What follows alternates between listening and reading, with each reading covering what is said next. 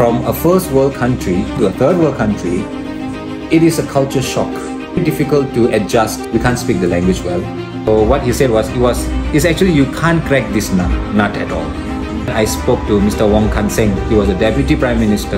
If I would ask you, your children to leave the country and go somewhere else to work, how will your heart break? We speak like the Singaporeans, we eat like Singaporeans, we walk and talk like Singaporeans.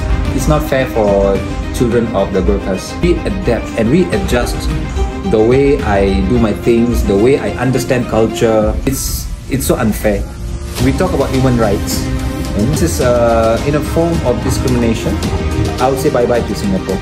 But I'm still a Singaporean inside. I look like Chinese.